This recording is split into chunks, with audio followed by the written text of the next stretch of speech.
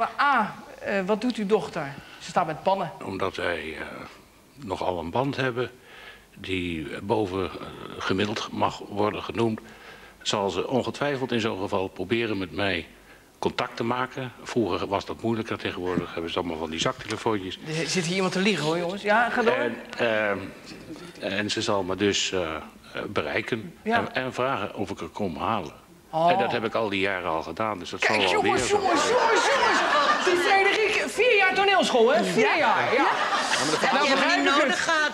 Nou, we gaan een snelle, vrije ronde spelen, jongens. Anders halen we het niet. Eh, Nelly, wil jij beginnen vanavond? Eh, met de vraag. Ja, eh, Frederik, je zit op een terrasje en je ziet een man zijn bokser uitlaten. En telkens als het dier ergens even aan snuffelt of stilstaat... of niet snel genoeg loopt naar de zin van zijn baas... dan rukt hij aan de riem. En op een gegeven moment is die man het zo zat... dan geeft hij die bokser een ontzettende trap. Wat doe je? En welke vader wil jij horen, Nelly? Welke vader wil ik horen? D. Vader D krijgt een muziekje. Wat doe ik? Ik word woest. Ik ben in staat om die man eh, een flinke optater te geven. Want ik vind, ik vind dierenleed heel erg. En zeker als het een bokser betreft. Want ik ben helemaal idolaat van boksers. Dus ik word echt... Ik vlieg hem aan. Ja. Vader D, eh, hoe reageert uw dochter in zo'n situatie? Nou, dat is heel duidelijk. Ik heb medelijden met de eigenaar van die hond, want die zal het weten. Ja? Ja, Frederik die ramt erop los en knielt en knuffelt verder die hond. En eh, dat is mijn idee. Dat, eh, zo zou Frederik dat aanpakken. Ja. Heel duidelijk, ja.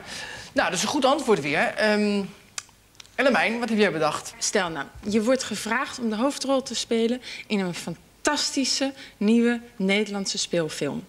Die speelfilm eh, wordt opgenomen in een dorpje in Afrika, ergens op een missiepost.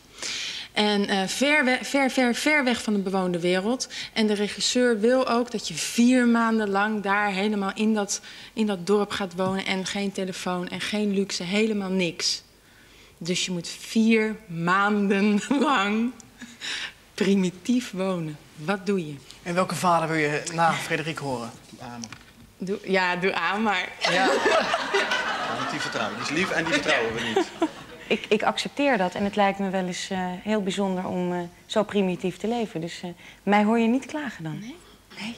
Ze gaat ervoor. Vader A, wat doet uw dochter? Gaat ze die rol spelen? Oh, oh, absoluut. Nou, Afrika, dat, eh, en, en vooral een beetje eh, weg van het gewone, van het normale, van het bekende, dat trekt er.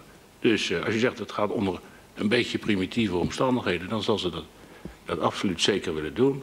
En eh, het hoeft nogmaals bij vier maanden niet te blijven. Nou, helder antwoord. U lijkt trouwens een beetje op GBJ Hilterman, zie ik nu. Ja, verre familie ook. Verre familie. Wordt dat een nieuw spelletje? Wordt een Ik nieuw zie spelletje? allemaal Waar de dingen. Ik ben een beetje... Eh, Jochem, tot slot. Laatste vraag. B lijkt op mijn oude melkboer. Ja? Harry Verbrugge, maar dat kent niemand. Maar Nee, Harry hij wel iets Verbrugge kennen we niet. Neem volgende keer neem de foto mee. Ja. Wat heb je bedacht? Wat heb ik bedacht? Eh, de golfclub van je vader organiseert een toernooi. Zo senior, zo junior. De bedoeling is dat eh, de, de, de vaders meedoen met een van hun kinderen.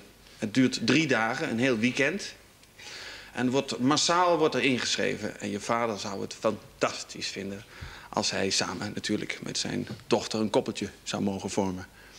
En vraagt dan ook, zou je dat willen doen? Wat doe je? Welke vader, Jochem, krijgt een Ja, dan ga ik toch even naar Harry Verbrugge weer. Oftewel naar vader B. Vader B. Ja. Frederik. Ehm, nou, ik heb echt een ontzettende hekel aan eh, golven. Ja, wist ik. Ja, ja. Dus eh, in eerste instantie zou ik het niet doen. Maar ja, Je zou het niet voor hem over hebben, ik zou het wel voor hem Oh, zo afdoen gaan we als ik- spelen. zou- Ja. maar je zou het niet doen. Nee, maar eh, als, ja, ik denk dat hij ook geen leuke dag heeft als ik meega. Want ik heb geen geduld. Ik sla er over de bal heen. Je doet het niet. Nee. Je hebt er wel voor hem over, doe het Goed niet. Ja. zo. We gaan eh, naar vader B. Gaat ze dat eh, golftoernooi spelen met u samen?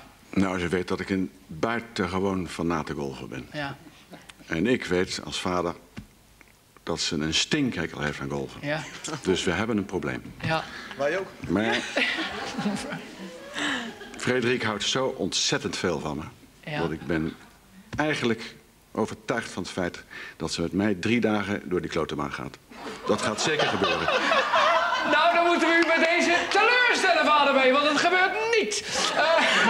Eh, ik ben erg benieuwd. U thuis waarschijnlijk ook. Frederik, Help ons uit de droom. Wie is jouw echte vader? Mijn echte vader is vader D. Ja!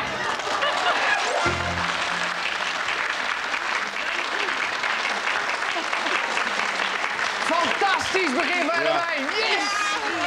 Toch. Vier keer D, ja, toppie. En Jochem kan zichzelf ook weer zijn hoofd slaan met die melkman van hem. Nou, en ik vind het ook niet leuk, want toen we binnenkwamen, toen keek ik naar het haar, toen zei ik, het is vast vader D. Ja. Maar ik heb vader dus niet genomen. Nee, ja, ja, ja. Staat ook meteen te zwaaien en te knipogen. Eh, ik, ik ben reuze benieuwd wie nou die andere vader zijn. Vader A, wie bent u? Ik ben een, eh, een- een studievriendje van haar vader. Ik heb met haar moeder in de tweede klas nog van de middelbare school gezeten. En eh, ik kende ze eerder dan dat zij geboren was. Dus zo lang ken ik haar al, zeggen. En vader B, wie bent u? Ook een studiegenoot? Ik ben eh, geen eh, studiegenoot, ik ben eh, Ben de Bruin. Ik ken de vader en moeder van Frederik al heel lang. Ik ken Frederik al voordat ze geboren werd. Mijn vrouw kent eh Marianne Harts al, ik dacht al 40 jaar. Die hebben samen op school gezeten. Ja, dat bleek hoor. Dat bleek ook uit uw antwoorden. En vader C, ik heb u voor alles uitgemaakt. Sorry, dat was complimenteus bedoeld. Wie bent u echt? Nou, ik vond het geen belediging. Nee, ik ben eh Luc Lempers. Golf iedere week met vader John en moeder Marianne.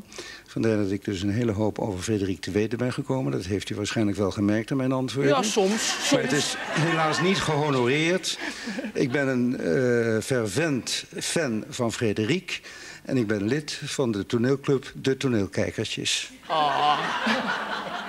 En tot slot de echte vader D. eh Frederik liet even een zusje vallen. Heeft u meer van die prachtige dochters thuis gehad? Nee, ik vind dat één genoeg is. Maar het is wel een heel, heel fijn bezit, hoor, zo'n kind. Ja, dat begrijp ik. Ze houdt je jong en mobiel. Ja, fijn dat u er allemaal was. Eh, wij bedanken u daar heel hartelijk voor, eh, vaders. Frederik pruttelt wel weer naar huis, denk ik, eh strakjes. Eh, fijn dat je er was. Succes met alles. Hè? En heel veel succes met die In de Clinch. En in september gaan we kijken naar die comedy. Vaders, bedankt. Nogmaals, goede eh, terugreis. En panel, nou, Ellemijn, vlag uit voor jou.